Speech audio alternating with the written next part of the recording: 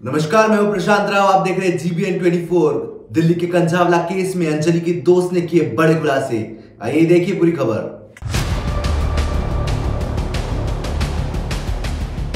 दिल्ली के कंझावला केस में 3 जनवरी को कई हैरान कर देने वाले खुलासे हुए हैं। अंजलि का अंतिम संस्कार कर दिया गया, लेकिन अंजलि की दोस्त निधि ने बेहद चौंकाने वाले खुलासे किए हैं। ये ऐसे खुलासे है जिसने केस के अभी तक के सारे दावों पर सवाल खड़े कर दिए हैं। अंजलि की दोस्त निधि ने बताया कि अंजलि बहुत नशे में थी। मैंने उससे कहा था कि मुझे स्कूटी चलाने दे, लेकिन उसने मना कर दिया। कार से टक्कर के बाद मैं एक तरफ़ गिर गई और वो कार के नीचे आ गई। लड़की नशे में थी, बहुत ज़्यादा लड़की गाड़ी के नीचे आ गई। लड़की बहुत ज़्यादा नशे में थी, लड़की गाड़ी के नीचे आ गई, ठीक है?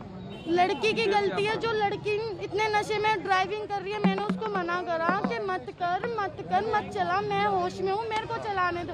उसने मेरे पे विश्वास नहीं करा।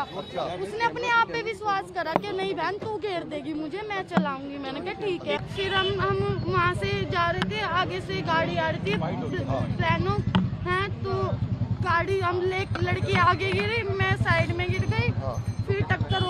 गाड़ी के नीचे घुस गई। अच्छा। हाँ लड़कों को पता था कि भाईजान उनके नीचे एक लड़की है। वो गाड़ी के नीचे किसी चीज़ में अटक गई। उसे गाड़ी घसीटते हुए ले गई। मैं डर गई थी इसलिए मैं वहाँ से चली गई। अभी के लिए सिर्फ़ इतना ही। देश और दुनिया की तमाम खबरों के लिए देखते रहिए जीबीएन 24